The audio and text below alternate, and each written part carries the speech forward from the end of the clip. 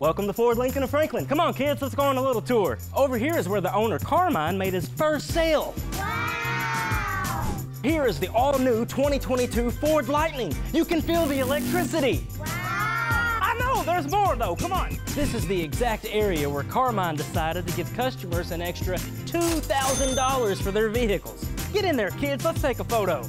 Hey, this is real money! Hey, wait, wait, wait, I need that back.